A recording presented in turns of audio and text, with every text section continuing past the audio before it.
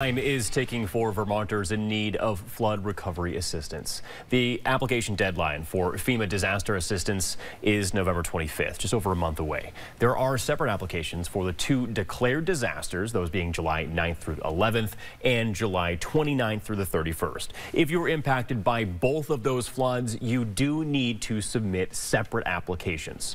So far, more than $10.2 million in federal assistance has been approved for those impacted from July storms. You can find more information on how to apply on our website at WCAX.com.